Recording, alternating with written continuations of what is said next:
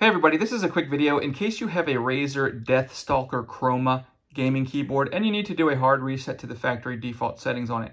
Now you're going to want to do this for one of two reasons. The first one is troubleshooting in case this keyboard is not working for any reason. Maybe it's not connecting or it's not responding, seems to be frozen or lagging.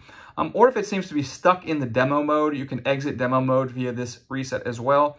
Um, and the second reason you might want to do this is if you're putting the, hooking this up to a new computer or just, you know, whatever reason where you want to get a fresh start, like you're just coming out of the box and it's got its all its factory default settings on it, we can do that really easily. All we need to do is, first of all, we're just going to go and unplug the keyboard. And then with the keyboard unplugged, we're just going to come in and find the escape key and the caps lock key. We're just going to press and hold those two keys.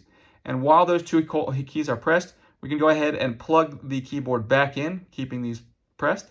And then once we have the keyboard plugged back in, we're going to wait just a second and then go ahead and release these two keys.